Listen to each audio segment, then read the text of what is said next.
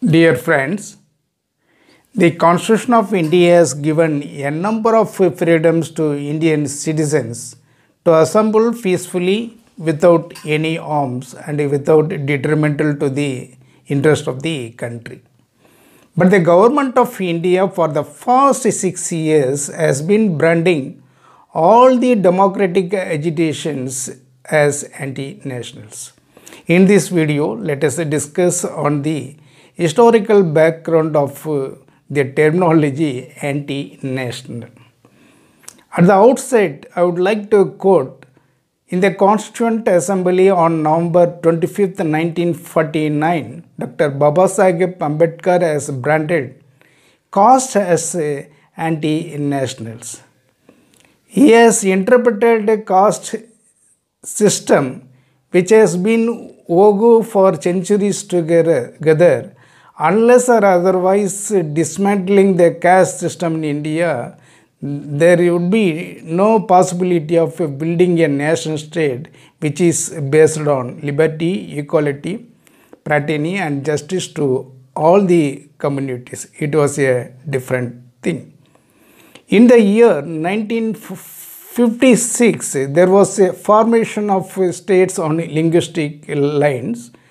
The first Prime Minister of India, Pandit Jawaharlal Nehru, initially has never accepted for this uh, linguistic lines formation of states and opposed it as anti-national, which is very detrimental to the interest of the unity and interest of the country. But the people have fought together and uh, after that he has accepted for the formation of states on linguistic lines. It's a different story.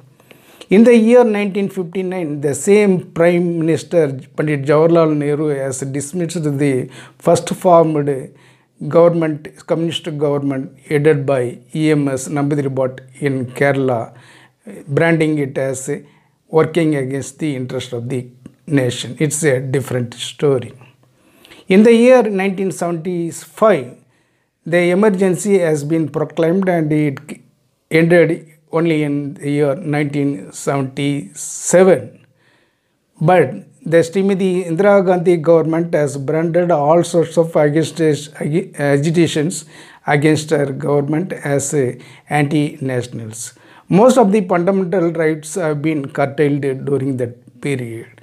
Another thing is that in the year 1984, Srimati Indira Gandhi was assassinated, but certain Western interests have termed the entirety of Sikh community as anti-national. It's a different uh, story.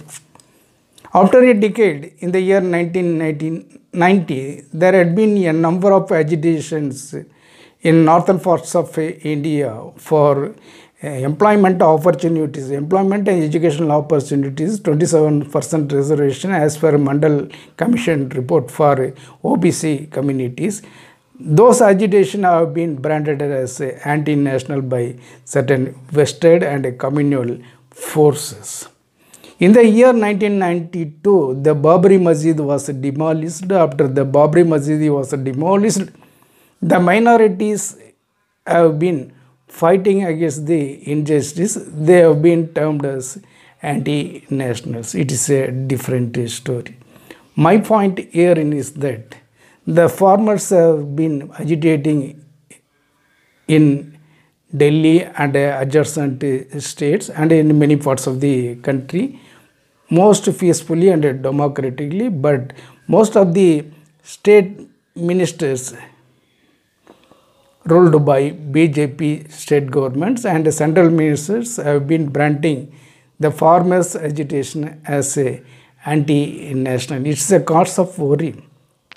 Even in the year 19, 2019, against the Citizenship Amendment Act, most of the university, college students, professors, intellectuals, all the cross sections of society have fought against the discriminatory attitude of the central government of India, but they've all been branded as anti-national. My point is that the farmers are agitating in Delhi and uh, surrounding areas and in many parts of the country peacefully as per democratic norms as per the rights given by the indian constitution. Why the government of india is branding them as anti-nationals or anti-terrorists is a cause of worry. The point herein is that finally i conclude that most of the people of this country 90% of the people are fighting against the government tribals scheduled caste patients workers middle class people, intellectuals, and all the cross section students have been fighting for their legitimate and democratic rights instead of uh, hearing and ventilating the genuine grievances of the people. Branding them as anti national is not justified. Thank you so much.